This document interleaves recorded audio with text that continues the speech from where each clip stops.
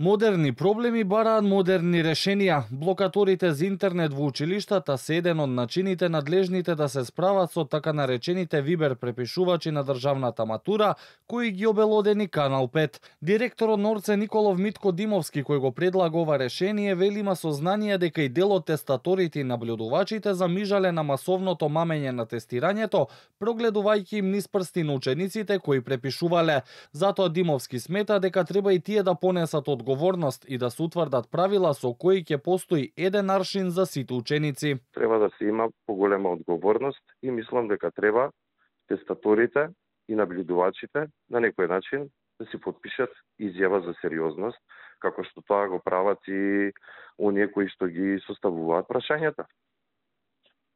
Изгоре на се, на крај крајава, нека бидат и платени е, тестаторите, затоа што колегите кои што доаѓаат од државниот испитен центар, платена им е дневница за таа сабота.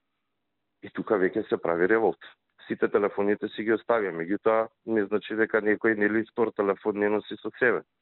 Има едноставен начин, може да се стави блокатор во училиштата каде што ќе немаат пристап воопшто до до интернет и нема да може да ги користат телефоните. И од Сојузот на средношколци го осудија препишувањето, но исто така велат дека мамењето на учениците не им било отежнато.